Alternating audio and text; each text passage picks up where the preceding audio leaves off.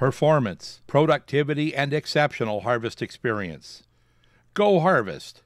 Get the most out of your S Series combine today. Always follow safety instructions and understand all safety decals according to the operator's manual. Always use seat belts when operating the machine or riding as an observer. When parking and leaving the machine, disengage the header and separator. Move the multifunction lever to neutral and apply the parking brake. Shut off the machine, remove the key, and lock the cab. When performing service operations where the engine must be started, make sure everyone around is aware and are clear of the machine. Enter the cab, sound the horn, and start the engine. This video will demonstrate procedures for removal and installation of threshing concaves.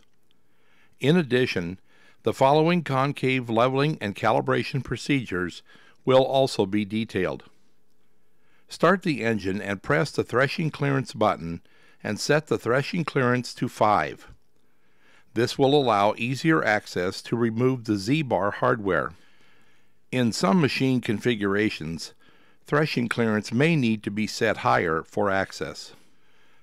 Set the parking brake, shut off the engine, and remove the key. Shift the rotor gear case selector handle to the neutral position. Remove shielding and separator inspection covers on the left side of the machine. Remove one separator grate section or two heavy-duty grate fingers to allow access to turn the rotor. Be sure the left side auger bed divider is in the lowest position in the trough. Remove the concave leveling cap screws from the storage position on the Z-bar and install them through the rail to hold the concave and Z-bar assembly. Hand tighten the lower nut against the Z-bar bracket and slightly tighten the upper nut against the rail. Leave space between the lower nut and rail to allow clearance for zeroing adjustments. Remove the base of the rubber seal on both cylinders and lift upward. Remove the pin and safety stop from both cylinders.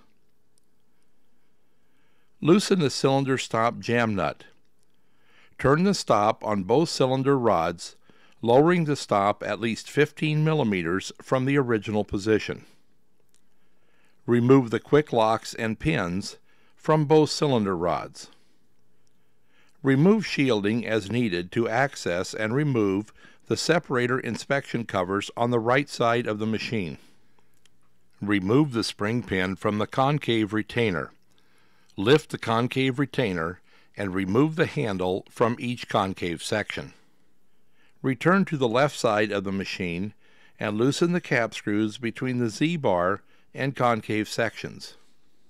Use the leveling cap screws to adjust the Z-bar and concaves up approximately 10 millimeters until the middle concave can be easily removed. In some machine configurations, where a tall rice dense pack is installed, the Z-bar may need to be removed. If removing the Z-bar, remove nuts and linkage arms between the Z-bar and position sensors. Turn the rotor so a gap in the threshing element pattern is at mid-concave. Be prepared to lower the heavy concave sections with either an additional person or pry bars capable of supporting and slowly lowering the sections.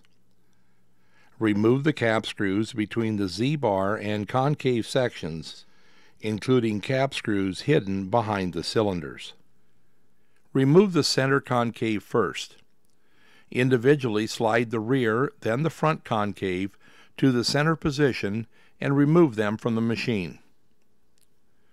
Install the concaves in the reverse order of removal. On the right side of the machine, install the concave handles into the groove in the concave sections. Install the concave retainers and spring pins.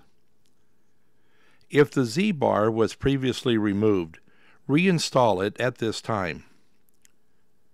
Using the leveling cap screws, lower the Z-bar and concaves approximately 10 millimeters or other dimension equal to the distance raised previously. Verify the ends of the concaves fit snugly into the Z-bar. Pull the concave sections together and make sure there are no gaps between them, using a clamp if necessary. Verify there is clearance between the front concave and the front bulkhead, and the rear concave and the center bulkhead. Then, install and tighten the top row of cap screws and nuts first. Tighten the bottom row of cap screws and nuts last. Tighten all hardware to the specified torque and remove clamps if used. If the Z-bar was removed, install the sensor linkage arms and nuts.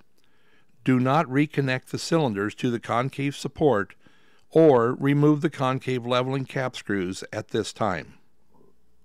The concave leveling procedure must be performed whenever the concaves have been installed.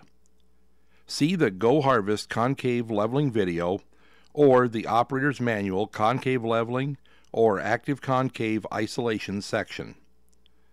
For more detailed information, consult the operator's manual.